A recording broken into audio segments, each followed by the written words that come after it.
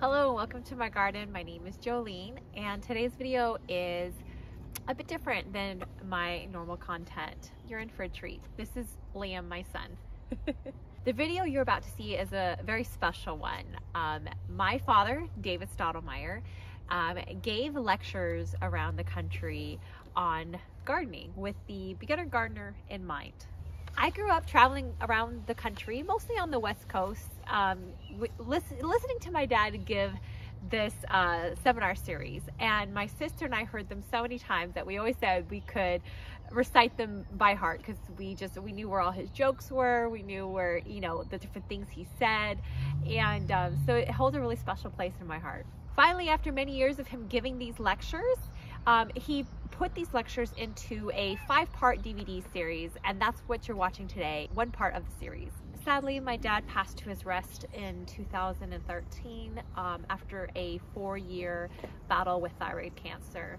To honor his legacy, our family has decided to release this five-part DVD series onto YouTube for anyone to access and glean from his knowledge. If you would like to own this five-part DVD series, um, then email me in the description down below. I have my email address down there and we'd be happy to mail you one for the price of $24.99, which includes the shipping and the cost of the DVD. We hope you're blessed by this seminar.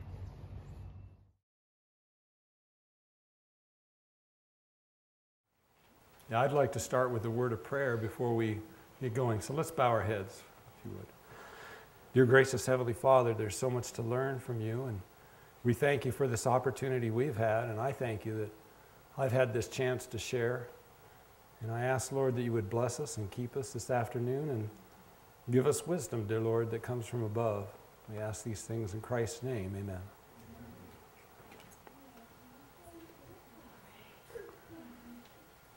So, we're going to talk a little about pest control. Have you ever felt like this? That which the palmer worm hath left hath the locust eaten, and that which the locust hath left hath the cankerworm eaten. oh my, and that which the cankerworm hath left hath the caterpillar eaten. Yeah, it's hard to say that. But boy, there's not much left after they get done. You know, the Lord gives you a promise that goes along with that. And oftentimes, this quote is used in terms of being faithful and paying tithes and offerings. Bring ye all the tithes into the storehouse, that there may be meat in mine house, and prove me now herewith, saith the Lord of hosts, if I will not open you the windows of heaven and pour you out a blessing, that there shall not be room enough to receive it. But it doesn't end there. Because it goes on to say, And I will rebuke the devourer for your sakes, and he shall not destroy the fruits of your ground, neither shall your vine cast her fruit before the time in the field, saith the Lord of hosts. So there is a blessing that comes with being faithful, and it's more than just the blessings that the Lord pours out to you personally. It can go to your garden and to your fields and so forth. That happened to my mother. Okay, that happened to your mother.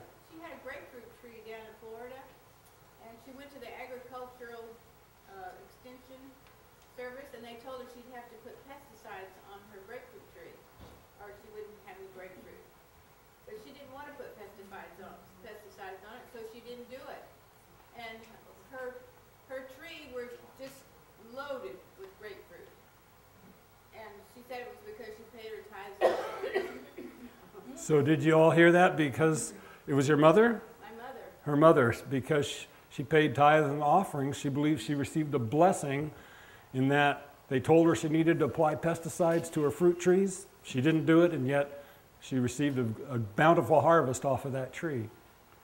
And I believe that happens even today, like you were saying. Here's another one I like, and this is in the book of Joel, just like the first verse we read about how the cankerworm and they all polish off your crops. The Lord can not only bless you, but He can restore. And I will restore to you the years that the locust hath eaten, and the cankerworm, and the caterpillar, and the palmer worm, my great army which I sent among you. The Lord can turn things around in your life. That can be spiritually, and it can be in the garden. I believe all of those things are true. So, we're going to talk about pest prevention and control. Now, we're going to talk first about weeds, which are a type of pest, and then we'll go on to animal pests, and I'm going to talk first and mostly about insects but we will talk about some other animals besides because we have deer and other things that are a problem, can be considered a pest.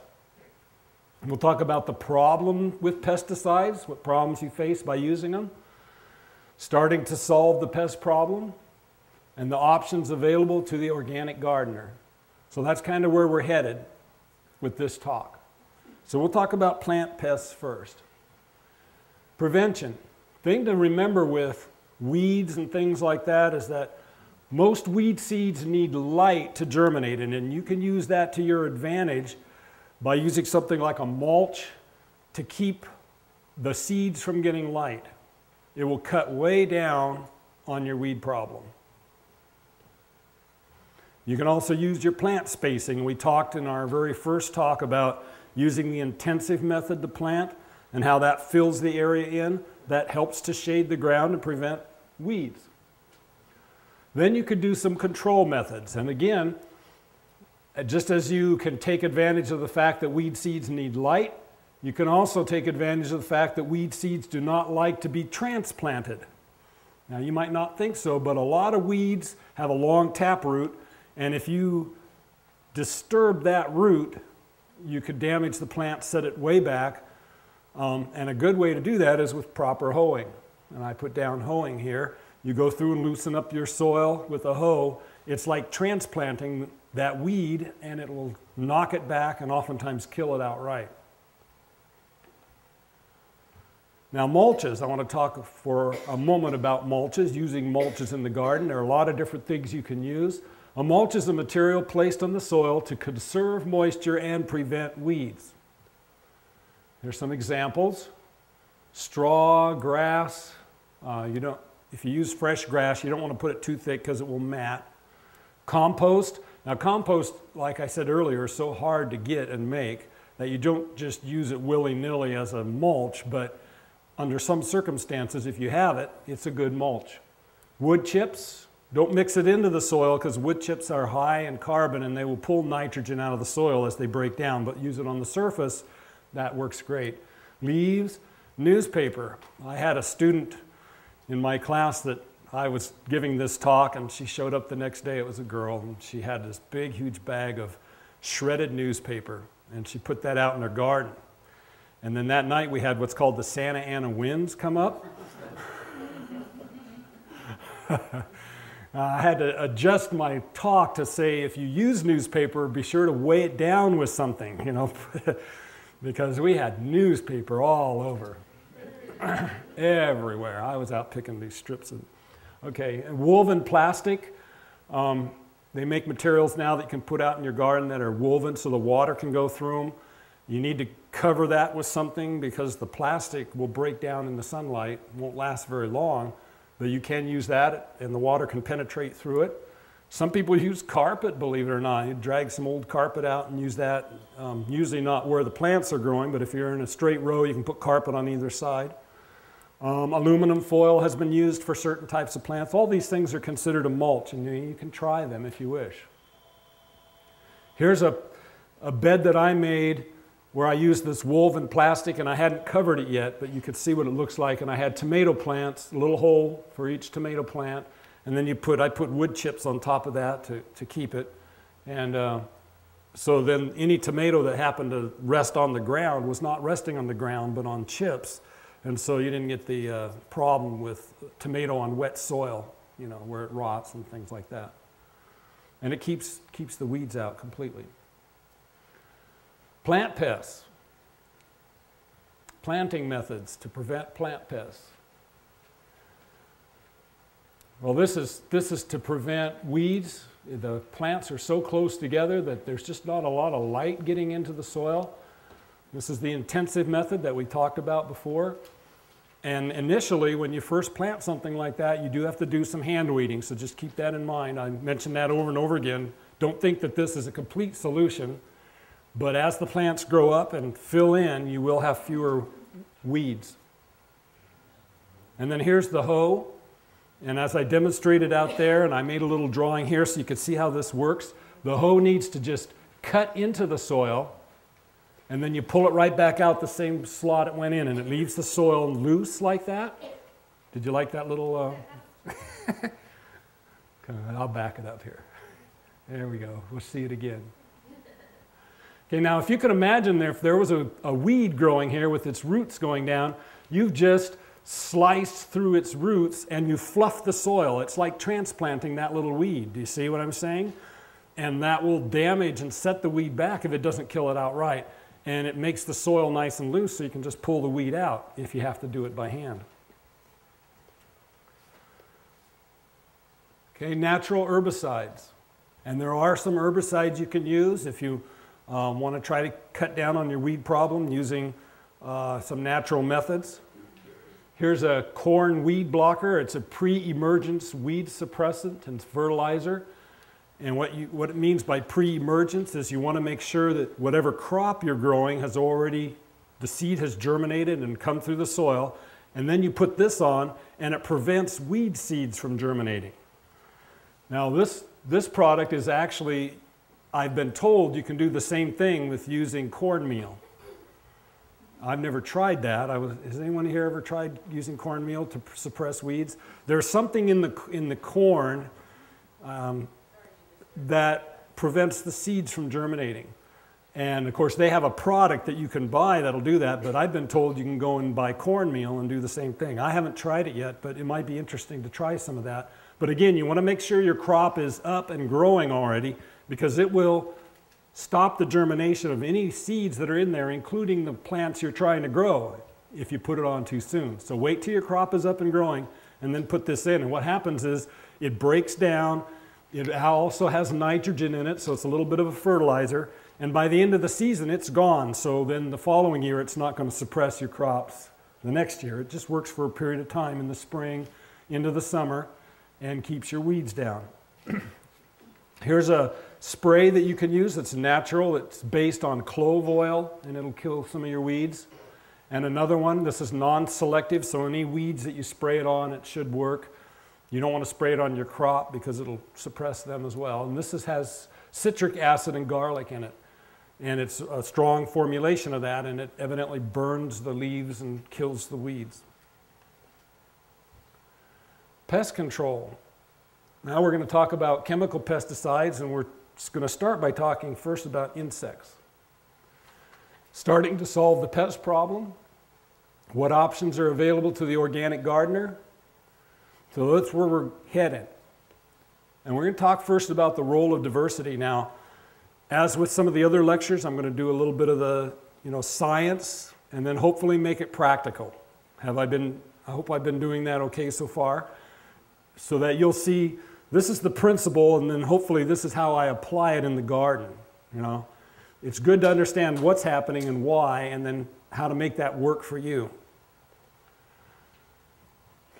Scientists have long determined that in a community, if it's more complex or diverse, it'll be more stable.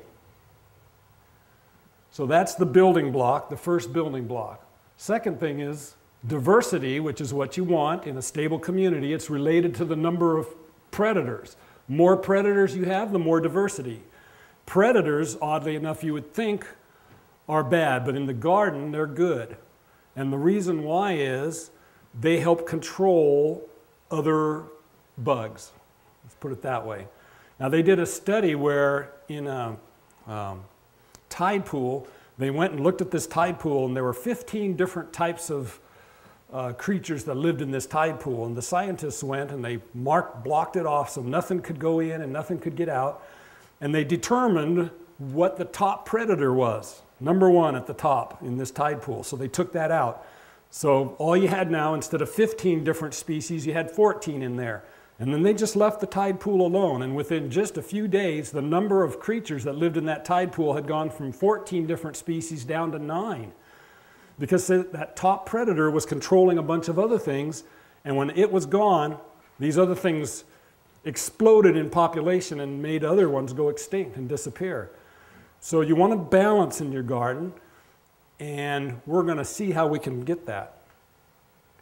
A species relieved of its natural enemies will often monopolize its habitat and thereby become a pest. So if you have some sort of a species and the creature that's controlling it disappears, it'll suddenly just bloom in population and become a real problem, become a pest. So this is kind of some of the rules that we're going to try to work with here in just a moment. Pesticides and diversity. So we're going to talk about how pesticides affect this. Most chemical pesticides harm beneficial insects. Most of your beneficial insects are your predators. Only about 3% of the pesticide resistant species are beneficial insects, which means that most of the resistant variety uh, bugs are bad. The ones that seem to develop resistance to pesticides the quickest are the bad ones, what we call bad. Okay? And a loss of beneficial insects reduces diversity and brings instability to the garden. So basically, what I'm saying here is we want as much as possible to encourage diversity in the garden, a wide number of plants, a wide number of insects, because the more diverse it is, the more stable it's going to be. And I'm going to demonstrate this and show it with a very interesting thing that happened in Peru. The Cañete Valley of Peru. Now, you all know where Peru is. I have a little map here of South America, and this is the country of Peru. And in Peru, you have the Andes Mountains, large, you know, very tall mountains. And in between these mountains and the coast, you have a very barren desert. There are some areas there where they've never recorded any rainfall since humans have been there and recorded things like that. And these, uh, this plain area between the mountains and the coast are broken by these valleys where the rivers come down out of the Andes and flow through the desert. And it's very fertile, a very good area for having gardens. They have a lot of water. But in between these valleys, you'll have an area 50, 60 miles sometimes with nothing. Barren desert, nothing growing there. So each valley is almost like a little island. So, you with me so far on that? Something very interesting happened in the Cañete Valley, and this is the Cañete Valley. It starts here, and they have a river that runs up, and there's a big gap between this valley and the next one, that direction and down this direction. So it's kind of like a little island, so to speak. And this is what the valley looks like. I don't know if you could see it very well. This is the, this is the valley. Can you see these little dark spots here? Those are trees. That, in the story I'm about to tell, that has a role in what we're going to hear. And on the sides of the valley is where the people live. They save the valley floor for their gardening. It's where all the water is and it's the richest area. So they do all their gardening in the, fa- in the valley floor, and then their houses are along the sides of the valley where they can't, that they can't utilize as well. You can see it's not real, you know, they have poor living conditions there. What happened in the Cañete Valley, stage one, was around 1920. And they changed, they had a variety of crops, which would mean they have pretty good diversity, and they switched to just one crop. Cotton was doing well, and they were getting good money from cotton. So everybody started switching to growing cotton, just cotton. And that was the main thing they were growing. Stage two happened from about 1943 to 1949. And during that period, insect control was based on arsenic and nicotine type pesticides. Now, those are pretty potent, they are a natural pesticide, and the bugs really had not developed any resistance to these things. But very slowly they started having some problems. Pests increased gradually. The average yields were 415 to 526 pounds of cotton per acre. In 1949, they had a pest outbreak, and the yield is reduced to 326 pounds per acre. That was a big loss for them. And people were concerned. This is our livelihood. We need to do something about this. Well, 1949, you have modern pesticides showing up on the market. So they decide, let's take advantage of these new pesticides and see what we can do. So 1949 to 1956, they changed their cultural practices and to control pests and increase yields. And this is how they did it. They brought in new powerful chlorinated hydrocarbons, things like DDT. You've heard of DDT and things like that. They introduced new cotton, more efficient irrigation, And they had initial success. Right away, they saw a big benefit. Just like the first time you use a, a chemical fertilizer, first time they did this, made this switch, they had good results. The yield increased in 1950 to 440 pounds per acre, and by 1954 they were up to 648 pounds per acre. They were doing well. These farmers were seeing the results of what they had done, and you know, they were making some money, and that was very good. They were happy. They saw the relationship between pesticide use and yield. The valley was blanketed with insecticides. They cut down all the trees so that they could put the pesticides on better. You know, trees get in the way of airplanes, and so they had airplanes flying down in applying pesticides, and these trees were getting in the way, so they cut all the trees down. What's happening to your diversity here? Uh-huh. Right? They have one, you know, just cotton is the only thing they're growing. They've cut down all the trees, and they're putting on these powerful pesticides. Stage three continued, 1949 to 1956. Problems started showing up, and surprisingly enough, they started showing up real quick. 1952, they started this in 49. In 1952, BHC, which is a, a, chemical pesticide, it no longer controlled aphids, so they had to switch to something else. The aphids just started eating the stuff. 1954, two years later, toxaphene failed on leafworm, so they had to switch to something else. 1955 to 1956, new pests showed up, resistant to DDT, and they switched to organophosphates. You, how many of you know what organophosphates are? Some of them are, they're pretty potent. Some of them are about as toxic as, as you want to ever not even get close to. All right, you, you need to be very careful when you're using them. They were using some of the strongest pesticides known to man at that time. The interval, look at this, the interval between spraying was reduced from 15 days to three days. Every three days, they were blanketing the whole valley with some of the strongest pesticides known to man by air. Innocuous insects rise to pest status. Do you know what an innocuous insect is? Insects that normally don't bother. Yeah, it's an insect that you don't even normally notice. And all of a sudden, these things that they had never noticed as being a problem burst into massive populations and were causing all kinds of problems. In 1956, disaster. Millions of bales of cotton were lost, and the yield dropped to 200 and 96 pounds per acre. This was a big disaster for these. These farmers were not wealthy, all right? You saw what they, they live in. That picture is a recent picture, and they don't live in a wealthy situation. And here they lost, they, their livelihood was at stake. And they called, somebody figured out, let's call somebody, and they called up to California, to the University of California, Riverside, where I used to work. And California Riverside University got together a team of men who went down there and looked at what was happening. And surprisingly enough, they said, This is a disaster, and we don't have chemicals that could fix it. What can we do?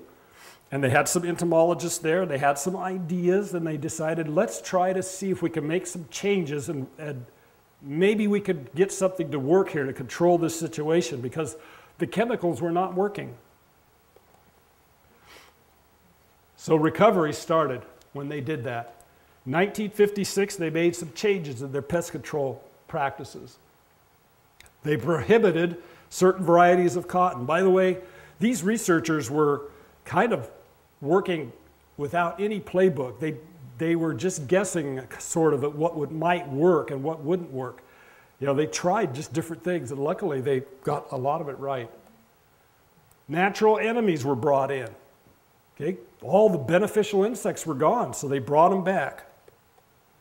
Methods of planting, plowing. They even had a cotton free fallow period established. And all the farmers that lived in that little valley agreed to follow whatever these men and women said to do. And so they all agreed and they all got together and did it. Insecticides were only allowed by permission.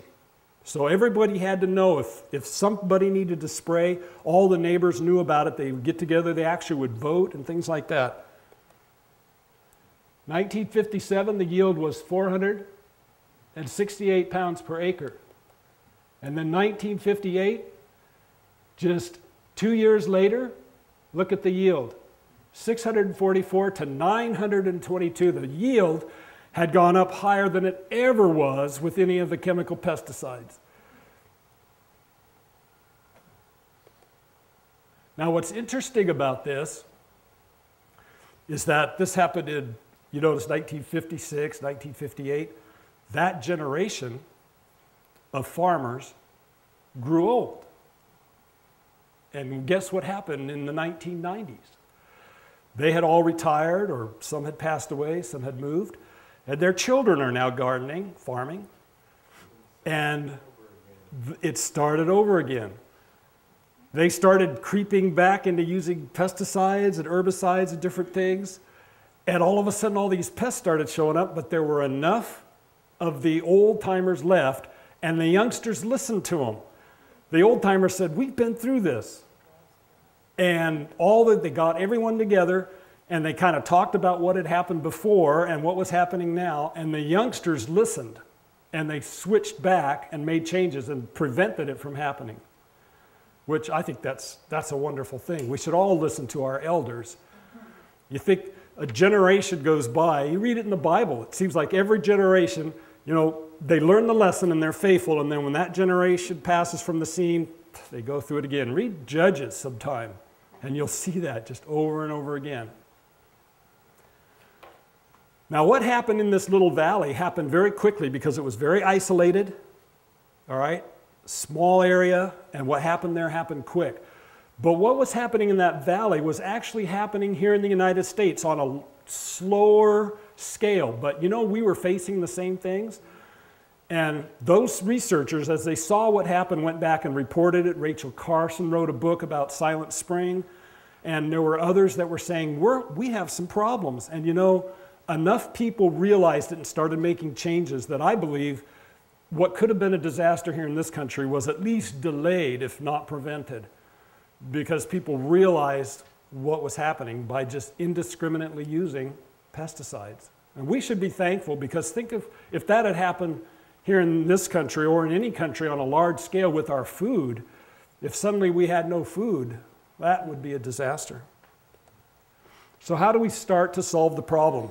In our garden, you know, we've talked about what happened down in Peru. One thing to remember is pest control is adequate if populations are held at tolerable levels. And that word tolerable is important. Some people cannot tolerate even a single little bite out of a leaf. All right? But you need to be aware of what's happening in the garden. Well, can I stand a little chewing here or an aphid or two there? You're going to have pests in your garden. Even if you want to use the strongest chemicals there are, you're still probably going to have a few bugs or this or that. What can you tolerate? And if you could tolerate this amount, then don't take any action. And if it creeps too high, then you start taking steps to control it. Elimination of pests is unrealistic. I used to tell my students that it's like if you have cockroaches in your house, you can use an atomic bomb. It will get rid of the cockroaches, but it'll do a little collateral damage beside. But you, you need to know what can I tolerate and what steps am I going to take. You don't go for the big atomic bomb to solve a little problem. Is the damage bad enough to require control measures? These are things you need to ask yourself. And if action is needed, use the least disruptive method available. So we're kind of working to the point now how can we put these things into place? So I want to pause here for a moment and just point out what I think is very curious uh, connection here. We talked about chemical fertilizers. And did you notice when you apply a chemical fertilizer, you have good results when you start, and then you end up applying more to get the same results? And then eventually you start having a problem with your crop and you have crop loss and you end up, what are you going to do? Change, recover? That's the same thing we had with the chemical pesticides that I just told you about in Peru. Notice you start with good results, you know, their yield went up, So they put on more to get the same results. Then you started having problems and you have a big crop loss or something. And what do you do? Do you notice pattern? Uh, you see the same pattern in medicine. I know my, my daughter Jolene had a, she has an ear uh, situation, a condition in her ear, and it resulted in a lot of ear infections. And when she first got it, they'd give her amoxicillin, and that would just knock it down. But then the amoxicillin didn't work, so they had to get something stronger, remember? and then that didn't work. So that before long, she was taking this really strong stuff, and what they finally do? They put tubes in her ear or something. But, you know, I mean, we see this all the time and sometimes we just pass it by, but do you notice you get the same pattern here? We need to be aware of that and not get trapped into it because it's that first step. You get those good results. It like lures us in. Isn't that the way sin works? First time you dabble in it, you know, there's nothing really bad happens and you know it's kind of good and but then that doesn't work anymore. So you go a little deeper, you know, you got to have that same thrill. So you end up deeper and the next thing you know, you're way deep into it. And Satan tries to get you. So, what are your options if you're going to do it organically? Well, there's prevention. The first step for preventing a problem is to have healthy plants. And to have healthy plants, you want to have healthy soil. Then you can protect your plants with other plants. And there are resistant varieties. Then you could take advantage of the pest life cycle. That's another option. And there are control methods you could take, such as biological control traps and barriers. But usually what I do is I, in my own garden, I try to start with the, the top ones and work my way down. Save those powerful ones for the last. So prevention, how do we prevent a problem?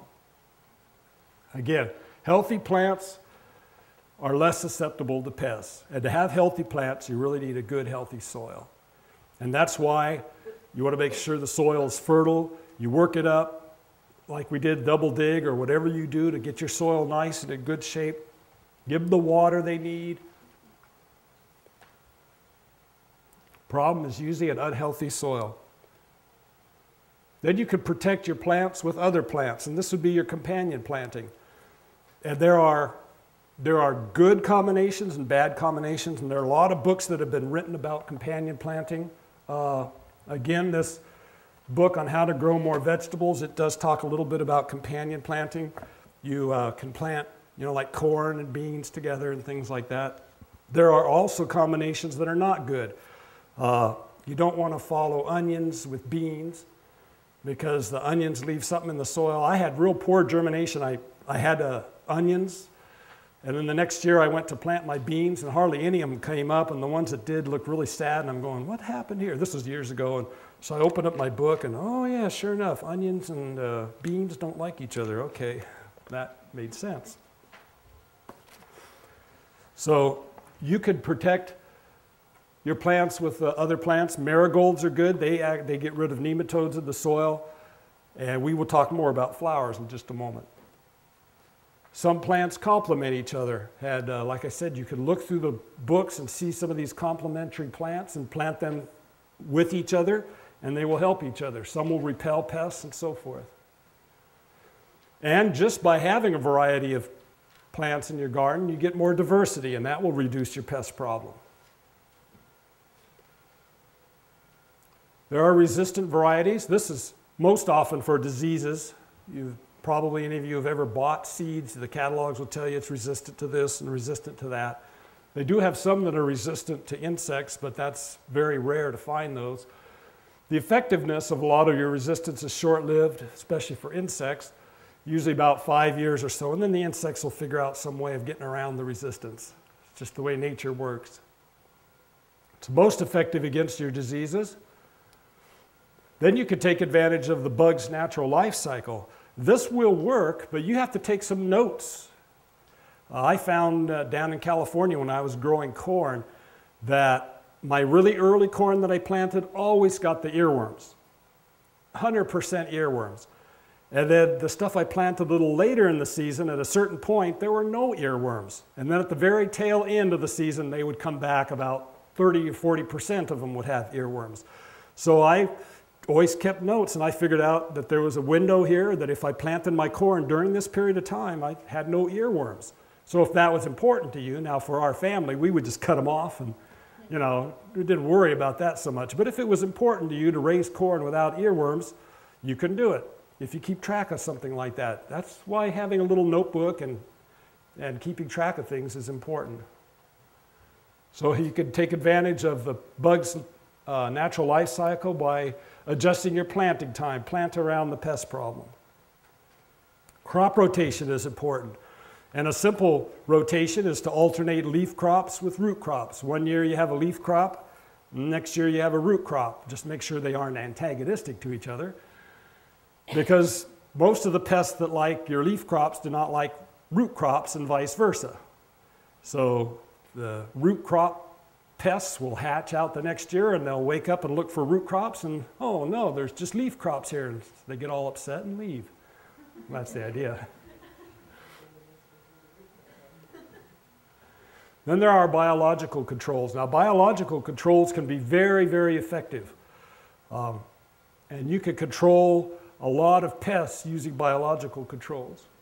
Includes predators, parasites, and even microbial control. There are microbes that you can use. For example, uh, somebody was talking about uh, the cabbage, cabbage worm.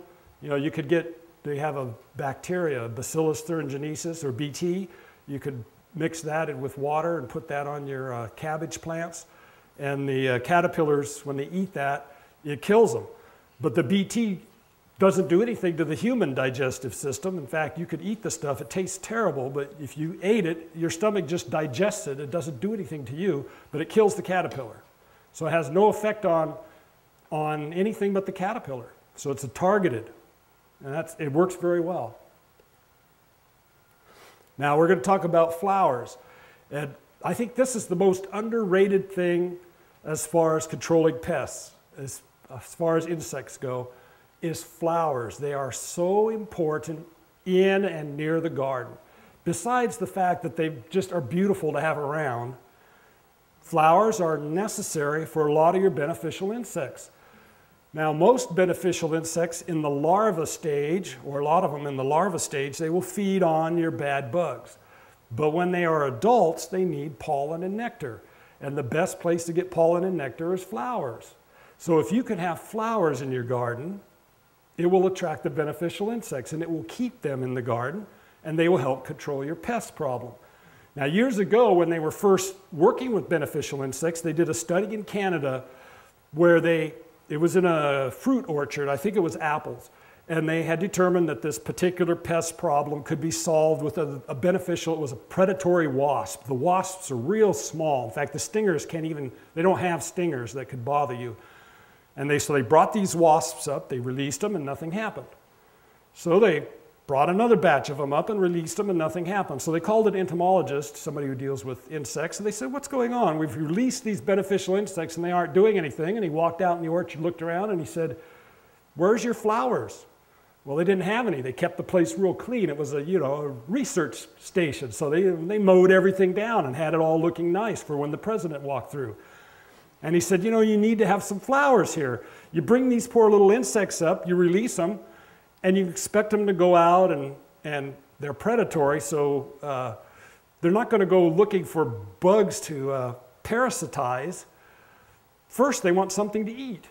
All right? They want to go to a restaurant and, you know, fill up and get something to eat. And then they're going to go out and lay their eggs and parasitize. So what they did was they grew, allowed some flowers to grow, and right away the control that they were looking for happened. So the flowers in and around your garden have an important role. Now, what type of flowers? Not all flowers are created equal. Uh, the composite family, which are your sunflower and daisy type, are, are very uh, beneficial to have in and around your garden. And the other group that is very important are your umbelliferae. I'm not sure if I said that right. Let's just pretend I did. But they form like an umbrella. This would be uh, your carrot, dill, parsley, fennel, uh, yarrow, things like that. You know, that looks like an umbrella. You've, all, you've probably all seen those. The flowers are very small, but the beneficial insects love them. So what do they look like? Here's your daisy type. Now, this is not actually the flower. The flower is in here. This is, these are just bracts. The flower part is in the middle, and that's where the pollen and the nectar is. And the beneficial insects will go in there, and they just love to get the pollen and nectar. And this would be your umbel shape. Notice it looks like an umbrella, your dill. If you could grow a wild, you know, carrot, whatever, uh, again, the beneficial insects are attracted to these type of flowers. You know, it's, it's nice to have tulips and daffodils and stuff, but this, this type of flower is actually much better in bringing and keeping your beneficial insects in and around your garden. And this was my garden in California, and I had right in the middle of the garden, I had some little, these are called Dahlberg daisies. Uh, they reseed every year. And a little flower, and boy, you'd go there and you'd just see all the little beneficial insects from ladybugs and green lacewings and uh, the predatory wasps and all kinds of things around these. Here's some dill growing here, and this is my uh, umbel shape. Uh, this is, I think, yarrow growing there. This is another, this was near the garden. This is in the garden. This one is near the garden. And I just planted wildflower seed and allowed it to come up and grow. And again, a lot of beneficial insect activity. And of course, that spreads out and helps control the insect problem in the garden.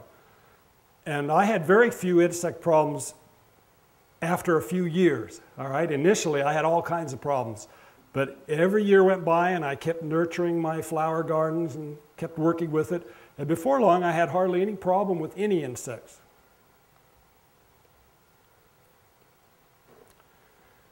Let's talk a few, a moment or two about some biological controls. We'll talk about ladybugs. Do we like ladybugs? Mm-hmm. Yeah, we do. There's your picture of the adult. And here's the larva. Now, the larva is much more effective in controlling aphids and other pests than are the adults. The adults will eat maybe two or three aphids in a day, where the larva will eat 10 or 15 or even more. And they don't have wings, so they can't fly. That's the nice thing. Now, when I was little, I thought these were baby Gila monster lizards. I don't know why. And then one day I was out playing in the yard and one of these things had attached itself to a leaf. And the next day when I came, it had formed a little yellow orangish ball. And so I started watching and I was curious. And a ladybug hatched out of that. And I thought I had made a great discovery in science, but I was disappointed to know that science already knew about that and I hadn't really discovered anything at all. But so these are the adults, and they do feed on your aphids, but the uh, larvae are very effective in controlling aphids. Now, here's a very special ladybug, the Vedalia beetle. And I have a story that goes with this. Do you like stories? 1887, California has citrus. And something shows up, a white pest, and nothing is controlling it. 1887, they thought that California would never have any citrus at all, period. The trees were covered with this white pest. The trees looked like they had snow on them. That's how bad they were. It was killing the trees. The farmers would put tents over the trees and would put nicotine in there. It's, it is, uh, it is a uh, cotton cushiony scale. And they would, they would put uh, nicotine and they would put stuff in there to try to kill these. And the minute they'd take the tent off, the stuff would come back. And they were wondering, where did this come from? What is this stuff? And how do we control it? And they didn't have anything to control it. And they thought citrus was dead in California. They wouldn't be able to grow citrus there at all. And an entomologist had gone through some of his books and he said, You know, I think that these cotton cushiony scale come from Australia, but they're not a problem in Australia. Something must be controlling them over there. Let's find out what it is. So they sent him, they put him on a boat, because back then that's all they had. They put him on a boat to Australia, and he went to Australia and he looked and looked. He couldn't find these in Australia until he went, I think it was in, the, in uh, uh, Melbourne, Australia. He went into a, a botanical garden and he found just a couple of these scale insects, and these ladybugs were eating them. So he got a couple of these ladybugs and brought them back to the United States, to California, and they built a tent and they released, oh, I think it was maybe 50 of them. They had, didn't have very many of them because they, you just didn't see them even in Australia very much. So they released them and they went to town on this cotton cushiony scale. They started eating them and they laid eggs and the larvae were eating them. And the farmers were coming and begging, give us some of these ladybugs. So they, you know, they, the farmers were about ready to lift the edges of the tent up and just let them go. So they finally, all right, all right, we'll let them go. And they, they lifted up the tent. And one year later, citrus had been saved. They had completely decimated this cotton cushiony scale in one year. So what happens a generation later? They sprayed something, the DDT came out, and they, they were using it to control something completely unrelated up in the Central Valley. California has, you know, Southern California, and then there's a Central Valley, they call it. And in the Central Valley, they had citrus, but they had other stuff too, and they were spraying DDT, and suddenly their citrus trees were covered with this cotton cushiony scale again. And again, it looked like snow. And they said, oh no, this pesticide is especially good at killing these Vedalia beetles. Now, they had not sprayed any DDT in Southern California. So, you know what the farmers were doing? This is really interesting. The farmers from Central California stopped spraying the DDT. They were coming down to Southern California and they were paying a dollar per beetle and taking them back up to Central California. Now, this is when price of gas was what, 19 cents a gallon? All right. They were paying a dollar a beetle to bring these beetles back up to Central Valley and reintroduce them. And the amazing thing is, that was 19, uh, I think it was 54 or 56 that that happened. It happened again in 1990. They were spraying for something else and they killed off the Vedalia beetles, but this time they caught it early and were able to, to fix the problem. Three times it's happened. And that's our little Vedalia beetle. It shows you how important natural control is. And if you interrupt that balance, it could be a big problem. Green lacewings. Here's the larva. You've probably seen the adults flying around at night and stuff. The larvae are very active in controlling aphids. The nickname for this is the aphid lion. So that's the larva, the aphid lion. There is a, uh, a related lacewing that lays eggs and the larva goes down in the soil and makes a little cone and it's called an antlion. Some of you may have seen or heard of those. So the uh, larvae are very effective in controlling pests. And again, the adult lacewing only feeds on pollen and nectar. Syrphid flies. These are hover flies. You see these hovering around uh, your flowers. They'll, they'll back up. They look like little uh, I don't know, those little those jets that can hover, you know, they go back and forth and stuff. Okay? Look at the larva. Looks like a little caterpillar, doesn't it? But it has a distinctive, can you see the little white stripe down its back? It's not a very good picture here, but there's a white stripe down its back. That's what you look for. If you see these in the garden, they are beneficial, not bad. See, I had a, I gave this talk once, and a guy came up to me afterwards and said, I've seen those caterpillars in my garden. I've been killing them. And I said to him, Have you seen any damage to your plants? I mean, the caterpillars, were they eating your plant? And he thought, and he goes, No, I hadn't seen any chewing on it. But see, he didn't wait to see whether the, the caterpillar, what he thought was a caterpillar, was doing any damage. He just saw it and started spraying for it.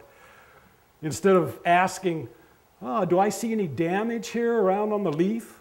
And if there's no damage, then why? Why take any effort? This guy doesn't eat anything but bad bugs. But it looks like a caterpillar.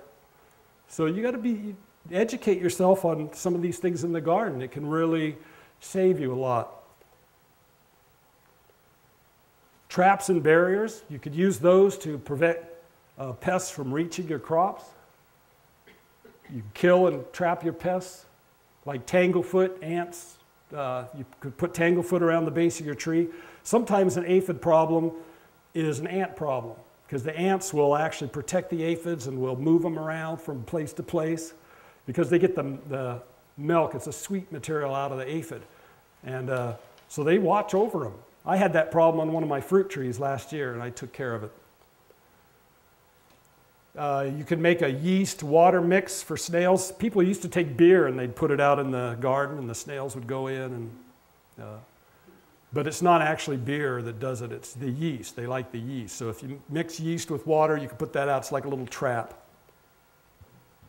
Barriers. Snails aren't much of a problem up here, are they? I see some people shaking their head. See, down where I live, they are. They, they brought the snails in for eating. They're escargot snails, and then they got loose.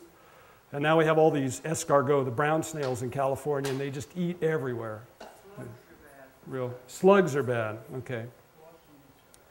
Barriers for preventing uh, the pests from reaching the plant. Uh, paper cup around the base of your plant to prevent cutworm. You can have snail bar, that's a copper strip. You put it around like if you have a tree and the snail or the slug tries to climb up and the slime interacts with the copper and it shocks them so they won't cross over it. Here's a couple of pictures apple maggot trap and uh, codling moth trap. These are just a couple of traps. Here's a peach tree borer lure. A lot of these are available if any of you are interested. Um, this catalog that I have, uh, Peaceful Valley, has a lot of these type of things in it. This is they kind of specialize in organic control of pests.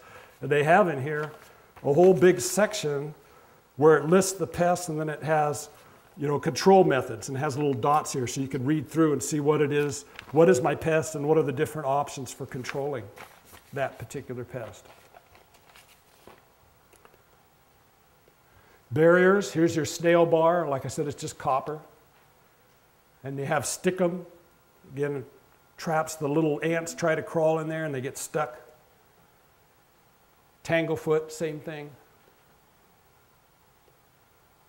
Let's see, here's a barrier. This is a friend of ours that had problems with deer. It wasn't a large garden, so he just built a uh, covering. He has a uh, wire that he just lifts up and gets in and does his work inside these raised beds and uh, is able to protect them from the deer. And he also has strawberries where he did the same thing.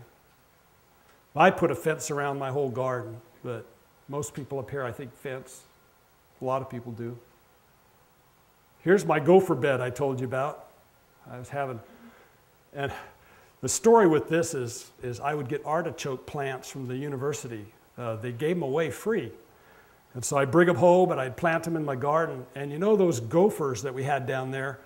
Artichoke must be number one on their diet list because they would wait until my little artichoke plant got nice. I mean, and I was seeing the artichokes coming and uh, my mouth was starting to water, and I would go out and the thing would be dead overnight. And I would reach down like this, and you just pick it up, and it was cut off right at the ground level. Everything below the ground had been eaten. They could smell those artichoke roots, I guess, and they would, like a beeline, those gophers would go right for my artichoke plants. And three years in a row, I lost, I didn't get a single artichoke. So the fourth year, I built this little thing. I spent a little extra money. This is that plasticized wood, uh, six inch, six and a half inches high, and I got two of them, so it, went up about you know 12 inches high or so. And I put welded wire or hardware cloth across the bottom, and I filled it up with soil and put my artichokes in there, and we had artichokes. Good artichokes. Remember that? We had lots of them. So you could take, sometimes you could do something like that. If you, a targeted pest problem, you could target a control just for that pest. Now I saved repellents and poisons for the last because too often that's the first thing we grab. You see a problem, you grab the, you know, what can I do to prevent this? What can I do? And you grab the, the spray or whatever it is. And I'm saying there's other things we can oftentimes do that are less cause less uh, hazard and less problem. And you're not spraying some of these strong things in your garden. You don't need to necessarily. Repellents will keep your pests away by sight, sound, or smell or taste, like crop guard. This is a brand name that uses garlic. Uh, hot pepper wax, wax. The idea here is uh, the, the pest will take a bite of it, especially larger creatures like a raccoon or deer or something like that. They take a bite and they get, or birds, and it supposedly will be so hot and they'll, so they'll leave it alone. It can work sometimes. You got to do it at the right time and use the right amount. Scarecrows. I brought this. This is one of my favorites. You ever seen one of these? it's a kite, but it's a, you can use it as a scarecrow to keep birds away from your garden. If you attach the string here, you could fly it like a kite. And when it flies, it does this. It flaps its wings, all right? If you attach the string here on its beak or on its nose, beak, beak, I guess, uh, you hang it, you run up a PVC pipe in your, in your garden, like, like say in your orchard. All right, you want to keep birds from pecking on your fruit trees, on your fruit. You attach a fishing line up on this pole, and when the wind comes, it then lifts this guy up and he flaps around and flaps in the wind. All right? And there are a lot of birds that don't particularly like this. And it's fairly realistic. Um, I was using it once as a kite down at the ocean, and I had this lady come running up to me, and she said, You've caught that hawk in your fishing line. Because I had it on a fishing line, or, you know. And I said, It's a kite. And she looked at me and she looked at this thing. It was up there doing this. And she looked at me and then she looked at it and then she smiled real big. and realized it was a kite. Sure enough, I had. She thought I had caught a bird with a you know fishing hook or something. But uh, and this this is made out of a uh, special type of paper that, that lasts a long time. I've had this for uh, oh what probably 15 years now. Um, I don't use it outside a lot, but it will last for many many years. And they have different ones. This one is a, uh, osprey. They have a, a eagle, and they have another bird of prey. I think they have three or four different ones you can get. And like I said, if you hook it through the mouth, it'll, it flaps its wings. And because it moves around, it's not like these stuffed owls that you stick out and they just sit there and the birds land on them and things. Uh, this actually moves and acts like a real bird. And uh, it, can, it can be effective for some things. Again, you know, nothing works 100%. But there are tools in our toolbox that we can use in our garden that help us and can keep the problem down to a manageable level. And this might be one, and there might be some others. I want to show this too before I go on. This poster was popular. What's bugging you? Chemical, pesticide, Sevin will solve it, whatever it is. What this doesn't show you is that uh, Sevin is really good at controlling ladybugs and, uh, and uh, bees honeybees. Sevin will just decimate honeybees. And that's the problem with using some of these products is that they're more effective on the good bugs than on the bad ones. And you want the good ones in your garden. They will do a great work for you in controlling the bad ones and keeping the population down to where you can tolerate it.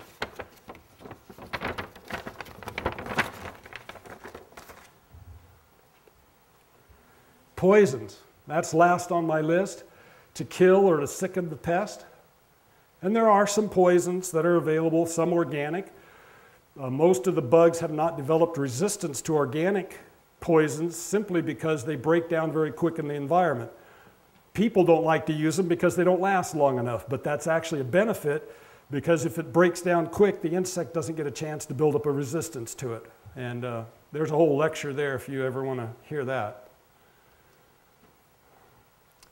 The earth has been cursed because of sin, and in these last days, vermin of every kind will multiply. These pests must be killed, or they will annoy and torment and even kill us and destroy the work of our hands and the fruit of our land.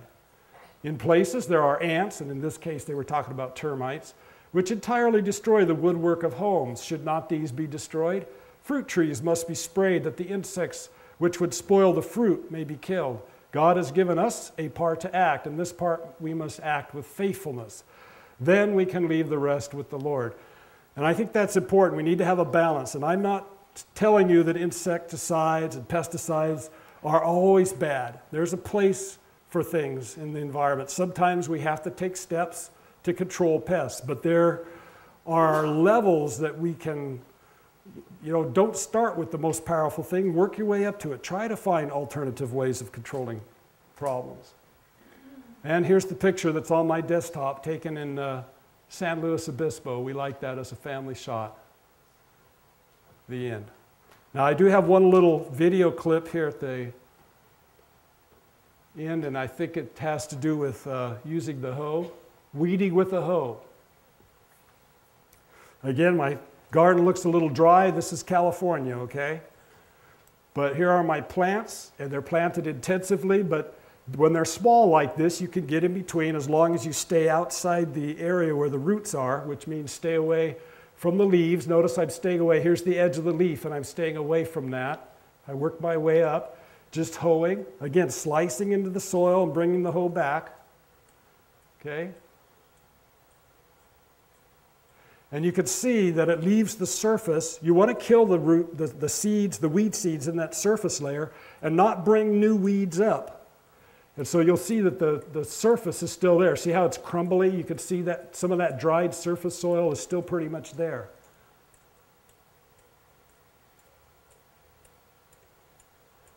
And this is what it looks like when it's done. It's nice and loose, so if there are any weeds, you can pick them out with your hands. Uh, you've disturbed the roots. And here at the id, this is a picture of that exact same bed a little later. This is the same year.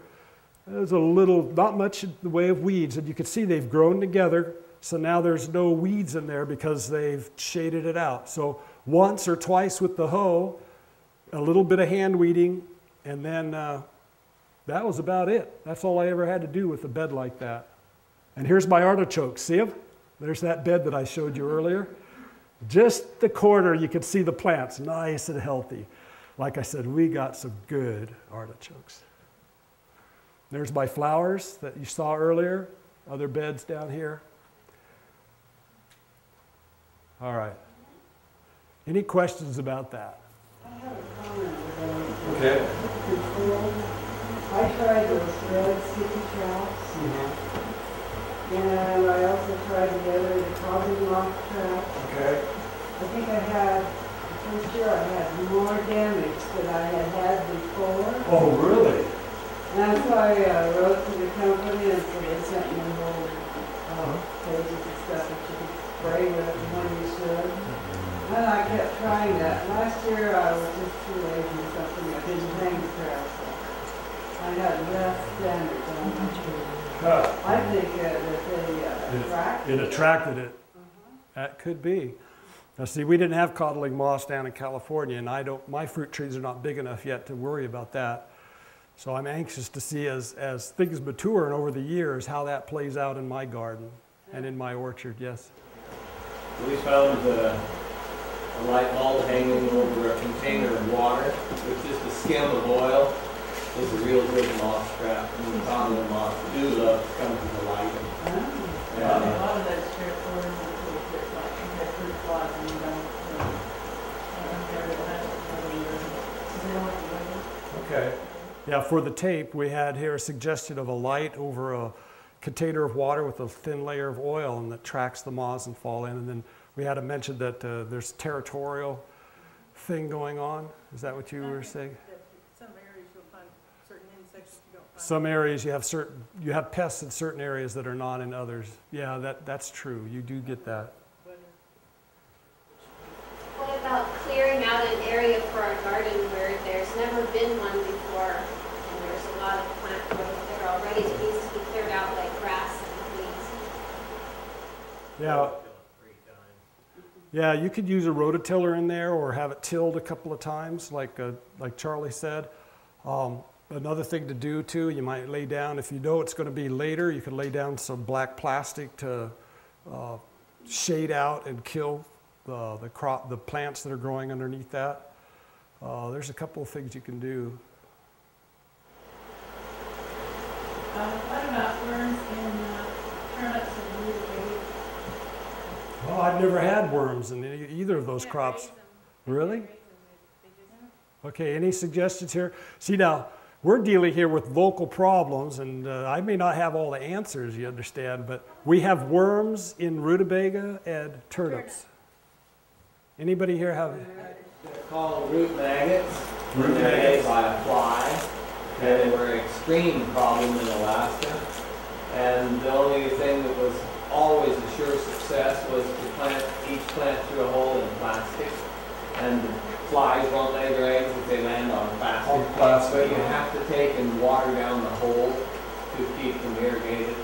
So it's a little more intense for the watering. A little more, okay, so for the tape, he was saying that there's, it's a, a, ma- uh, a root maggot, it's a little fly, and so you have to plant the plant with plastic so that the fly won't lay its eggs, but it's a little more difficult. Now, could you put it like a drip line underneath that plastic and water that way? Okay, all right, that would make sense. All right.